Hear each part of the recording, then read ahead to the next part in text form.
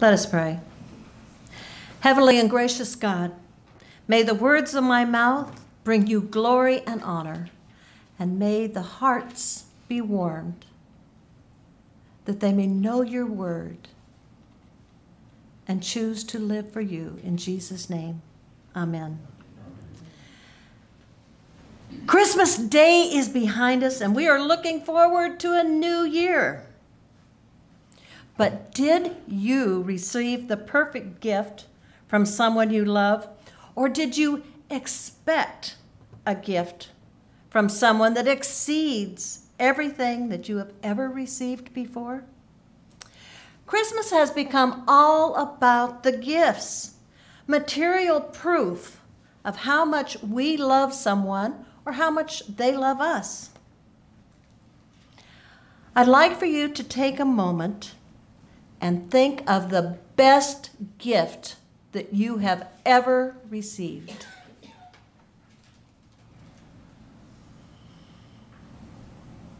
Maybe it was a picture of your grandchildren, a diamond sapphire ring that had belonged to your grandmother. Maybe your wife just bought you a candy apple red Harley Davidson Road King. or if you live in Sun City, maybe Santa brought you a customized personal transportation vehicle. Or, in other words, a golf cart. nice, yeah? Yeah. But what about the worst gift that you ever received? I remember mine. It was a bright pink, flow- flowing, flowered caftan robe. If you've ever watched Three's, Three's Company on television back in the late 70s and the 80s, you probably saw the landlord's wife wearing one just like it. ah, Mrs. Roper. The sleeves were long and flowing, and it knocked over everything I tried to pick up, or it dragged through my coffee. And since it was long and flowing, it got tied up under my feet as I tried to go up and down the stairs. And worst of all, it was bright pink floral, big flowers. I never believed in returning gifts because I was sure that the person had spent time thinking just of me and would fulfill my heart's desires. Right? Right. My daughter still laughs on every gift occasion, wondering whether I would be Mrs. Roper. And guess what? I was Mrs. Roper this year. And how about giving a gift? Most of the time, we have no idea what someone else needs, wants, what color, what size, or what is the appropriate amount of money to spend. If you have several children and grandchildren, then you know exactly what I am talking about. Maybe you were like Ralphie in the movie The Christmas Story. Ralphie wanted a Red Ryder BB gun, and he just knew if he kept asking for it over and over, he would get it. And he plotted how he could save his family from evil with his trusty Red Ryder. He would ride in on his trusted steed, and he'd shoot all the bad guys, and his family would be so thankful. We do that with God. We keep badgering Him over and over and plotting for the things that we think we want or we need. And God's response is, You'll shoot your eye out. But God does know exactly what we need. He gives us good and perfect gifts. Let's look at his most perfect gift to us. Our scripture this morning is from Luke 2 10 through 11. But the angel reassured them Don't be afraid. I bring you good news of great joy for everyone. The Savior, yes, the Messiah, the Lord, has been born in Bethlehem, the city of David.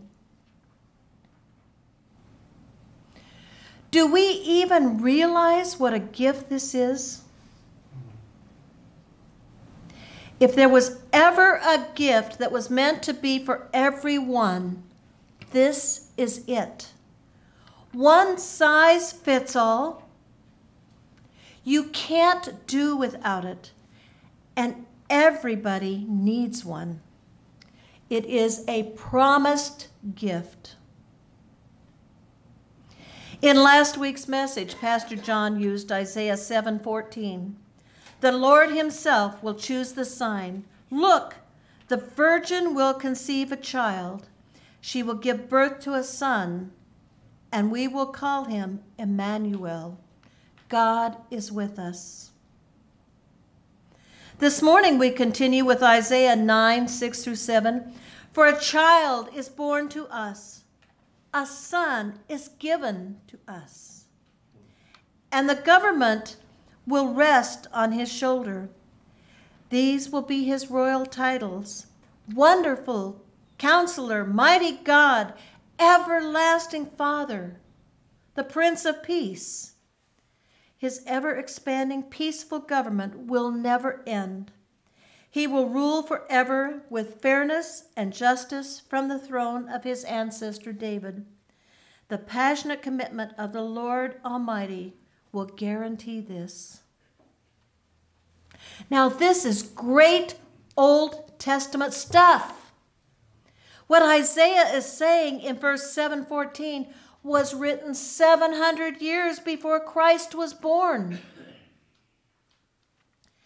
a thoughtful gift.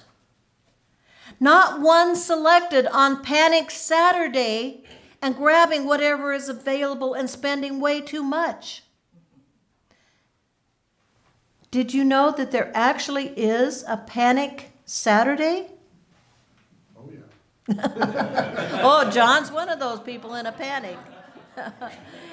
and verses 9, 6 through 7 give us a personalized everlasting gift, a commitment like we have never known before. The gift we are being offered didn't end with the birth of the Christ child.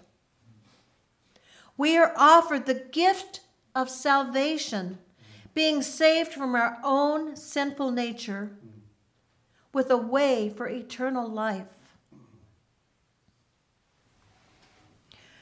John 3:16 tells us, "For God so loved the world that he gave us his only son, so that everyone who believes in him will not perish, but have eternal life."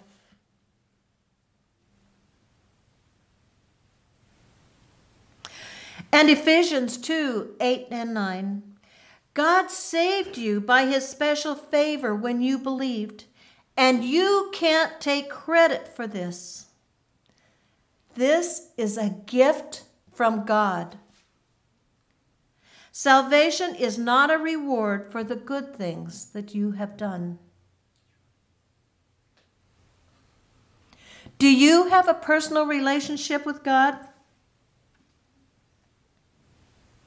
Is it an everyday, intimate relationship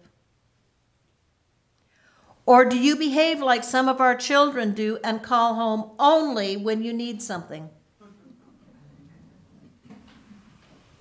If you think that you can ignore God and He won't see what is really lurking in your heart, or if you think He won't ask you to do something you really don't want to do, if you think that you can wait until the last minute of your life to start this relationship, you're wrong. God knows exactly what is going on, even when we try to shut him out. Do you have a personal relationship with God?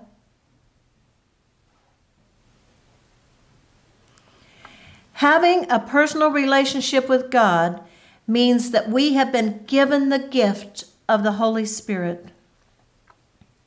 John 14, 16 through 18. And I will ask the Father, and he will give you another counselor who will never leave you. He is the Holy Spirit who leads in all truth. The world at large cannot receive him because it isn't looking for him and doesn't recognize him. But you do because he lives with you now and later will be in you. And verse 26 But when the Father sends the counselor as my representative, and by counselor I mean the Holy Spirit, he will teach you everything and remind you of everything that I have told you. So, who is this Holy Spirit? And what are we to do with him? In the Smart Guide to the Bible, Larry Richards states, He is the one who oversaw the birth of Jesus and who was the source of Jesus' power in ministry. Jesus promised to give the Holy Spirit as a gift to his followers that we too might be empowered spiritually. And Ephesians 1:14, the Spirit is God's guarantee that he will give us everything that he promised and that he has purchased us to be his own people.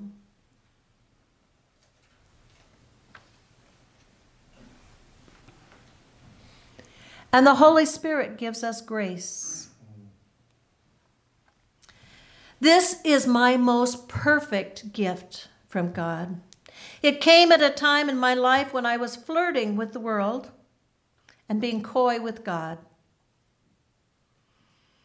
I came to a low, point where only God could have saved me. As I was praying, forgive me as I forgive others. I was hit with the fact that I was truly a sinner and that if God was going to forgive me as I forgave others, I was in big trouble. I prayed for God to cleanse me and to give me a pure heart, and God spoke to me. Maybe not in the voice of man, but in a very audible part of my heart. And what he said is, My grace is sufficient for you. And as I gave myself to him, he said, I know the plans I have for you, not for harm, but for good. And he imparted to my heart that he wanted me to go out and tell others of his love, his mercy, and grace.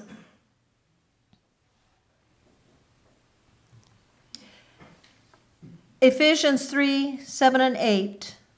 By God's special favor and mighty power, I have been given the privilege of serving Him by spreading the good news. Just think. Though I did nothing to deserve it, and though I am the least deserving Christian there is, I was chosen for the special joy of telling the Gentiles about the endless treasures available to them in Christ. What a perfect gift that I have been given. When we receive gifts, what do we do with them? Do we set them up in the closet shelf for a couple years and then put them out for a yard sale? Maybe we regift them or we return them to the store for an exchange. I remember some years ago, my brother in law received a gift he knew he didn't want, so he returned it to the store without really looking at it. What he didn't realize was that the giver of the gift had put a $50 bill in the box with the gift, and without opening it, he returned it to the store. How do we feel as we watch our children and our grandchildren play with the box of a gift that we spent our time, effort, and money on, knowing that this is the special gift they want? You know that kind of sick, betrayed feeling? I bet this is exactly how God feels when he sees some of his children reacting to the gifts that he has given us. So this morning, I ask you to receive his gifts. Thank him. Use the gifts. Share them. Add to them. Accept the gifts that God has given us, the fulfilled promises. In a long line of harried shoppers, a man was overheard to say, They should kill the guy that started Christmas. And one wise and godly woman in the line said, They did. They hung him on a cross. That is the real gift of Christmas. Amen.